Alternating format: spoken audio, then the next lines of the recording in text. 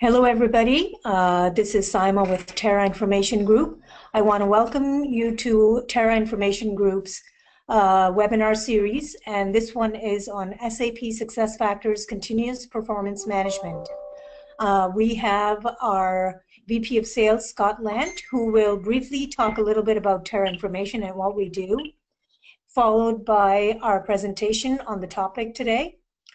I will ask you guys to keep your reserve your questions till the end of the presentation, and we will, uh, you know, we will address the questions uh, at the end of the presentation. So, um, Scott, go ahead. Okay, thank you very much, Saima. Yeah, before we started on the uh, presentation, I just wanted to tell you a little bit about Terra Information Group, just so you have an idea about our company and what we do. Um, so our company's been implementing HR solutions for the past 20 years. We started doing this in 1997, and our headquarters is in the Chicagoland area, and we have offices throughout the United States, as well as offshore facilities in the Philippines, India, Vietnam, and Argentina. Plus, we also have an office in uh, Germany as well. So we're a certified implementation partner and reseller for SuccessFactors. And we have excellent references um, throughout the United States. We've implemented over 100 SuccessFactors projects. And what's nice is that we implement all the different modules of SuccessFactors, even including um, the partner software, which is Benefitfocus for benefits and workforce software for time and time and attendance. So what we're kind of known for is our rapid deployment solutions. And we have rapid deployment solutions for each one of the modules of success factors. And the real benefit to you is that this, this cuts down on the time and the cost of the implementation. So we can offer you a, a low fixed price implementation and also, you know, do that with milestone payments. And so when we're doing that, we're, we're absorbing the majority of the risk. That just shows the confidence that we have in our implementation team. so we've implemented really pretty much all the mod different modules, different size companies, but also we've integrated success factors with you know different solutions such as ADP and Kronos and SAP. I'd like to say that we've we've seen it all as far as the integrations. So we're also certified in the integration, the solutions, the integration solutions that SuccessFactors provides. And the name of those are, are Boomi, which is one middleware solution they use a lot, and also now the HANA cloud integration, as well as a team of, of uh, development consultants that implement ABAP and Java. so what we also do is we support a lot of clients. I mean, with our 100 clients, we support them, but plus others. So we have very flexible support programs with no minimums. Plus, we offer, if, if you like, a, like health checks or release management um, support if you know when you're when you come up with your new releases and success factors. So if we go to the next slide, we just it's just kind of a, a blend of our different clients. And I think the key is that you understand is that we implement all different industries and all different sizes of companies. I mean, this is all we do is HR, and we're considered a true global HR consulting firm. So we have clients that have 50 customer, they have 50 employees up to 85,000 employees. So you'll see some companies that are very large, such as Raytheon, Tyson Foods, Nike, but also a lot of kind of the mid-sized boutique companies, such as like companies you'll see on there like Kraton, GT Solar, and Pfeiffer. So that's just a little overview on our company so you know who we are and what we do. And then uh, now we'll pass it on to our presenter, Carrie, and maybe she'll talk to you at first about the uh, about the agenda. Thanks a lot. Hello, everyone. My name is Carrie Herzog, and I've been implementing SuccessFactors Performance Goals Management for the last seven years. So I've seen a lot of the most recent changes come around with uh, V11, V12, V12A, etc and have kind of followed the process through the different steps to see the most recent development with continuous performance management. Uh, today I'd like to talk about uh, performance management in general, a little bit about what we currently do. um, why we need to change what we're currently doing because of uh, how work has changed, and then what continuous performance management can do to guide us towards the future in our work. I'm going to do a little demo in the system, so we're going to take a look directly in SuccessFactors and show you what it looks like in your system. And then we'll go ahead and I have a couple reminders and can take some questions at the end, so we'll save some time at that at the end for those. Today's performance management, um, most people believe and feel when you question them that it's just time consuming. It's seen as something that goes on top of your work. I need to do this too. I need to fill out my form. I need to be reviewed. I have other more important things to do. It's always considered an extra. Um, we also know that they're pretty subjective. We've worked really hard uh, to combat the biases that we have, to combat the how we how we review somebody and try to be as unbiased as possible. But it's time passes and and people forget, and we want to make sure that we, we can overcome those biases and remove some of that subjectivity with our performance reviews. Most of the time, they don't really change the employee's behavior. Nothing that we we say or do to an employee is going to change what they're doing. It's it's a one-time warning, one-time explanation isn't going to truly change or get to that heart of that the true issues that taking place. They're certainly not motivating. Um, they, like I said, are done, they're filed, they're forgotten, and they don't motivate people to really continue to do better at their work.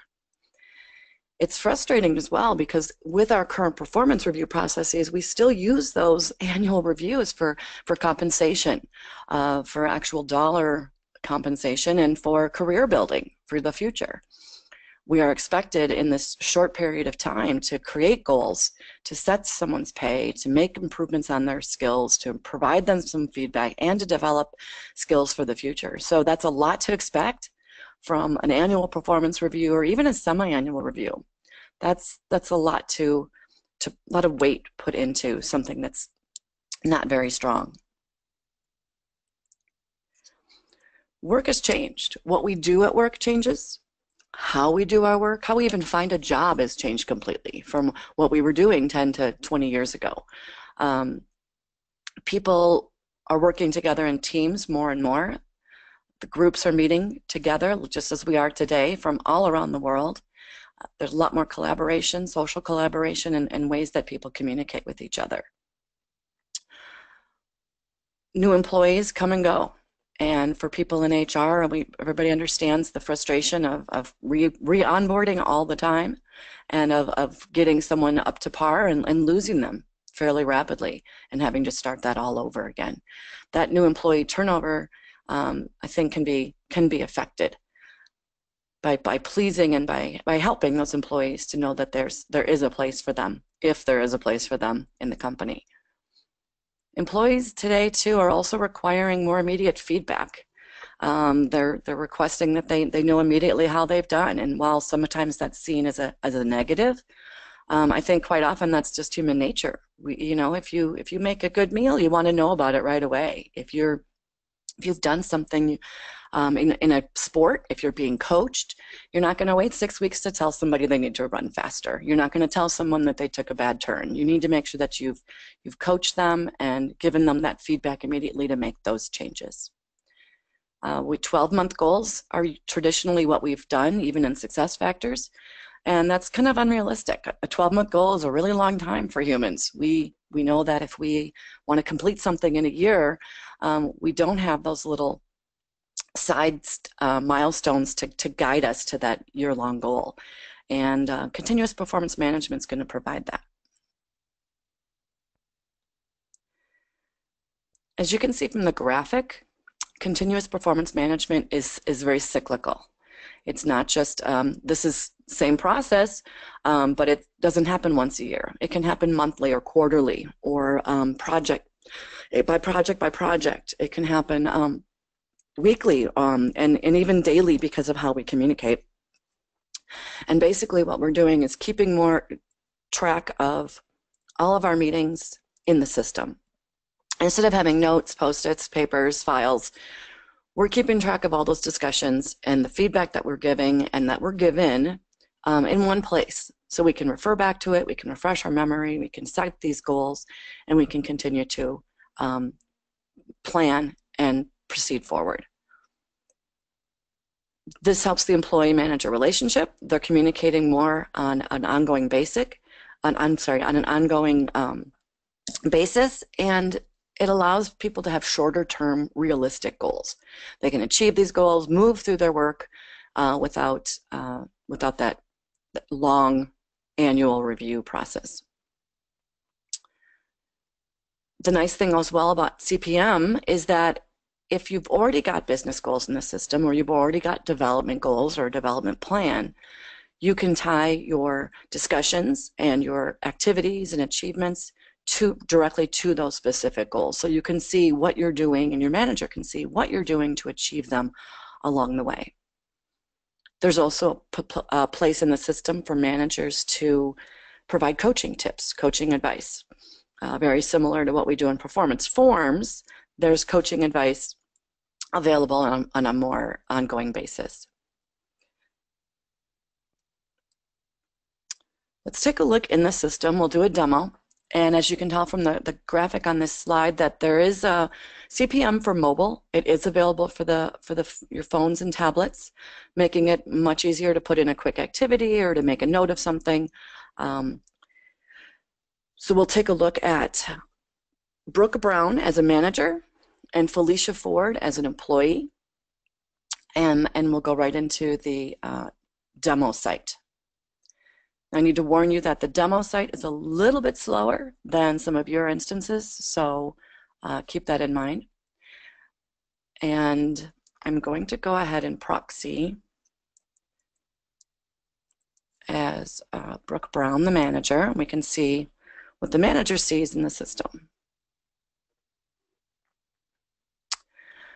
Okay, I'm in as Brooke Brown, and I'm on the home page. And as is most often the case, we man can manipulate and maneuver, verse, uh, navigate, sorry, via the tabs in the upper left-hand corner. Notice continuous performance is its own tab. Um, it's not just performance, it's not going to be where the forms are, but it is going to be able to link to those forms. When I click on continuous performance, again, it's very similar to the goals and objectives in that you can see your information as Brooke, but I can also see my team. My team will populate below my name, and I'll be able to click on their continuous performance management activities as well. So let me take a look. I'm Brooke, and I want to look at Felicia's activity. These are her activities, and there's also a tab for her for her achievements. Now, activities are basically the milestones. What are the separate steps that you're taking to complete the job? What, what steps are you taking to get to that goal or that development goal? And achievements are what have you accomplished? What have you finished? What are you done with? What's, what, what accomplishments have you had over this week, this month, this year? And they'll all be populated together for re reference for that annual review, but also for discussion along the way. So if I'm Felicia, and today's October 18th, I can take a look at the different activities that she's been working on. She's got to learn the comp module, and she's been doing these things to learn that module. Notice some of these things have been entered by Brooke, her manager, and some were entered by her, by the employee herself. This is another activity, and she can easily add an update to that activity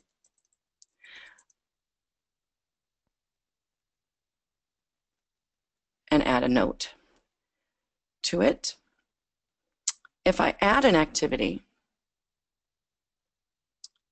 I have the ability to set the status of that activity. These are all determined by you as a company, what labels you'd like, what company, what colors you'd like for each label. Um, maybe it's a low priority or medium, you can default. If I set it as high, um, we'll see that it moves to the top of my list. Notice here that her performance objectives, her goals from her goal plan, the default goal plan are populating here. And or if it's a development goal, she can easily add a development goal as well. Because I set this activity as high, it's going to go ahead and populate to the top of my activity list. I can change them around and reset them. I can complete them and move it. If I move it to someplace else, it can, it'll, like it just asked me if it's considered an achievement and it'll move it to my achievement list for me. I can also flag. I can target things. And the action button lets me edit or delete a specific comment or activity. At the bottom, continuing down past my activities, I can add other topics. Other things I forgot to mention to my manager, other things I want to mention to my employee. I can add topics here and we can just tick them off after we've finished them. Sort of like a to-do list for your one-on-one -on -one meeting. And because I'm a manager, I can go ahead and provide feedback for Felicia. This feedback can be ongoing, it can be after an event, it can be after a project, but what it does is it populates with one thing she did well, so there's my motivation, and one thing Felicia needs to improve upon. So I can go ahead and enter, again, any comments, and those will appear, whoops, those will appear when she um, enters the system as well, and she will be seeing them immediately. And it'll warn me if I say OK. Those are um, saved. Let's take a look at the achievements. And these can be organized two different ways. Again, achievements are what I've accomplished.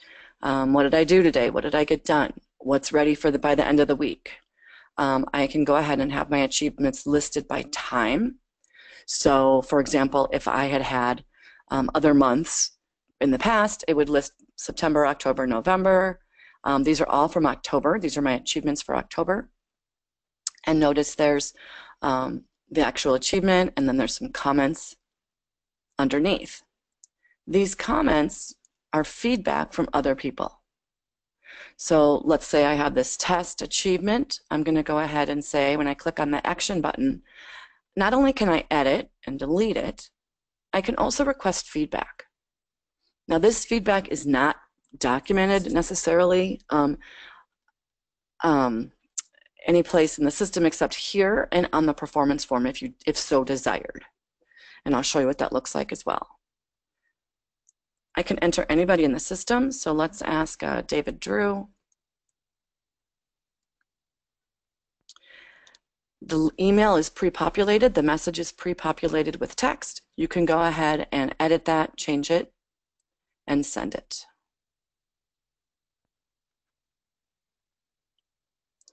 When I proxy as David Drew,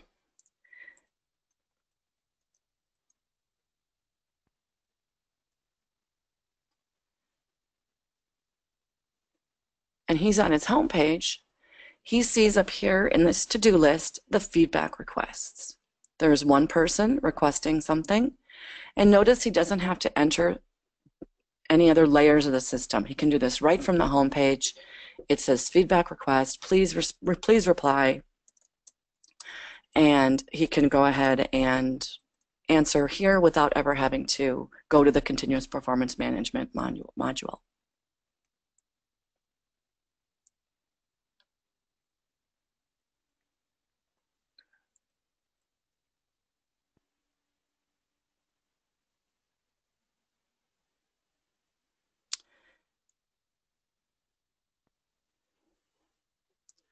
When I go back to achievements for Felicia, I can now see underneath that particular achievement, David Drew's comment appears. And if there's more than one, they'll continue to populate beneath. I can also view this list, besides chronologically, I can view it by objective. And again, these can be turned off, or only one or the other can be turned on if so desired. This is performance objectives, and these are development objectives. So if I'm looking at my performance objectives, here's my objective, it's listed. And then these are the achievements so far that I've, I've accomplished to achieve this goal. and of course any comments that are go would go with it. Development objectives, same thing. I'm supposed to improve my writing skills, my presentation skills, and these are the things that I've done to show that I am working on this particular development objective. And I can continue to request feedback for those as well. Let's go back to activities. And one of the things that CPM talks about is the one-on-one -on -one meeting. And that one-on-one -on -one meeting is basically any kind of discussion or sit down or or um, chat about your accomplishments on any particular day, week, quarter. And the system allows you to capture the meeting. So what happens is every activity that you've put in, all the feedback you've gotten, or all of the um, other topics you've discussed, and any coaching advice you've offered or received can all be captured in a, in a snapshot. I can say capture meeting, and it's going to it's going to ask me if I'm really done with this meeting, and I'm capturing it. And I've just completed my one-on-one. -on -one. What this does is it takes that screenshot and it files it chronologically with these with these arrows. I can go back to, let's see, the 14th. This was my snapshot or my, my screen capture on the 14th. This was my one-on-one -on, the 15th, my one-on-one -on, the 15th in the afternoon. I did it again, the 16th, and so on. So you can see that you've you've captured all this information. It's back there for you to uh, review. So if you've edited, if you've deleted something, if you cross something else off, it's still saved. It's still captured in your um, screenshots and in your one-on-one -on -one meetings. Let's take a look at how CPM can affect your goals and performance because the modules are all directly linked. Actually, I'm going to, I think I'm going to go to the, I'll go to development. I think I have more there. If I am looking, I'm Brooke, and I'm going to look at Felicia's development plan. The system adds a column it adds a column called CPM achievements, and it gives you a number. It notes how many CPM achievements are associated with that particular development or performance goal. When I click on that three, it is a link, and it pulls up the, the actual activity that is linked to, uh, and I'm sorry, the actual achievement that is linked to that performance goal. It also lets me link and view the feedback. So if I'm looking through someone's development plan, I can see what are they doing for this? How are they working on this? And I can, I can see how they're doing. I can see what other people think they're doing and even see my own notes. As far as the performance form, let's look at the um, performance form for Felicia.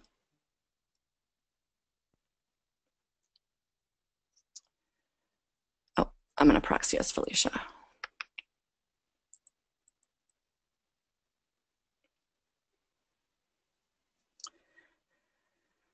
Now, Felicia has her performance form in her self-review step.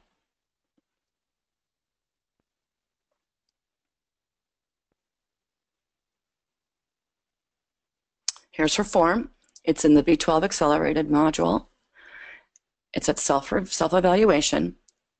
And if I take a look at her development goals section, it tells me that the achievements tab populates with any of those achievements, a little trophy icon, showing me the achievement, the date it was achieved, and again, any feedback which she solicited or which I as a manager solicited for her on this particular achieve on this particular goal or objective. So those can be added to the performance forms and to the objective and development plans as well. So it is truly all linked together. The ability to, to see it all, um, all three modules working together is possible. If, if that's not desired, you can essentially turn that off so that it could be a freestanding tool on its own.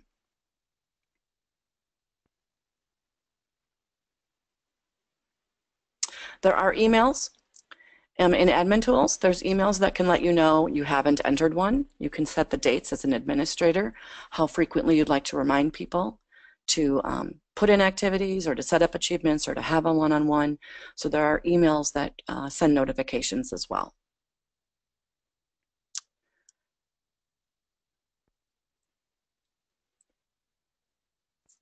Let's go ahead and just want to remind you, as we were looking at V12A, um, that the end of life is coming up for PMV11 and V12, the, the initial version 12. Uh, these are ending for maintenance in the next six months. So if you're still on the older system, you might want to start thinking about getting some guidance with updating and upgrading that, uh, making sure it's either a new version, a new um, new cycle if you're interested in, in changing what you currently do, or if you want to just re uh, continue what you're doing but put it into the new UI, that's certainly something that Terra can help with. The end of life entirely is a still a year, another year and a half away, um, but be thinking about um, getting that support. That's CPM. Um, I'm sure that there's more to more to play with. There always is. Uh, but if there's any questions, um, go at Saima. We're we're ready whenever you are. Thank you.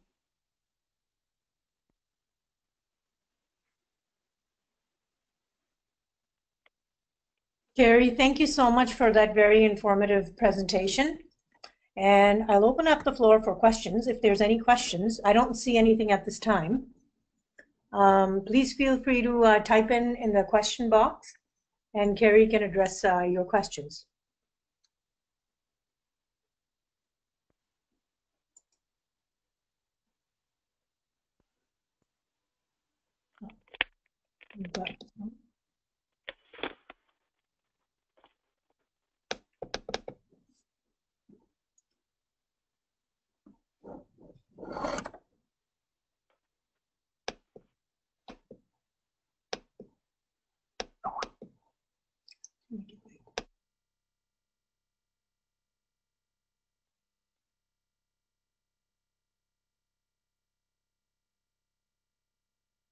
Carrie, we have a question. Um, the question is, does CPM connect with JAM? At this point, it does not.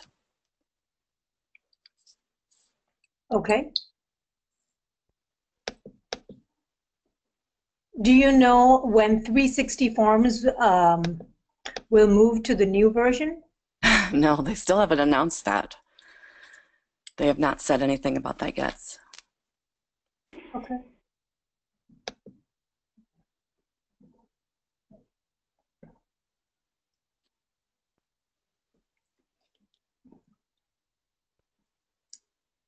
Do you have to be on V12 to use CPM? Yes, you need to be on V12 and you need to have role-based permissions implemented. Okay, great.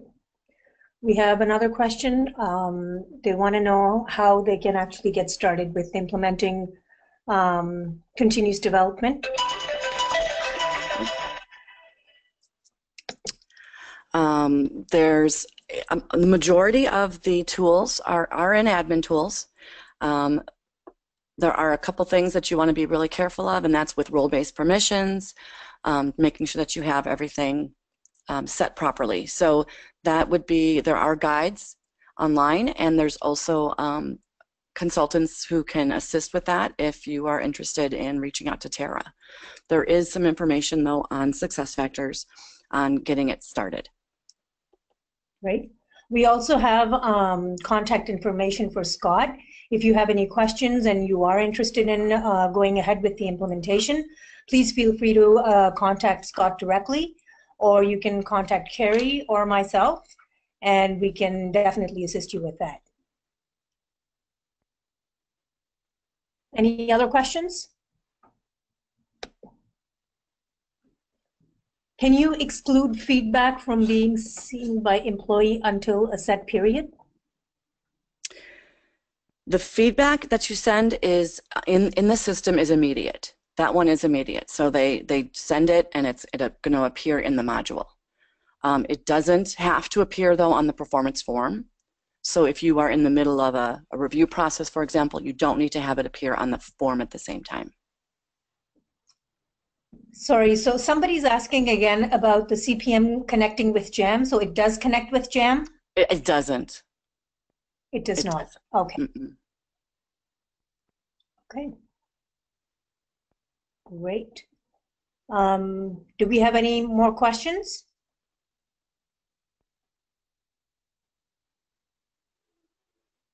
Looks like we are done with all the questions. Um, thank you, everybody, for attending our webinar on, on continuous performance. Here we have a slide with uh, Scott Land's uh, email address as well as Carrie's. Please feel free to reach out, reach out to us and we'll be more than happy to assist you with any of your questions or if you have any requirements at all. Thank you so much and have a wonderful day. Bye now.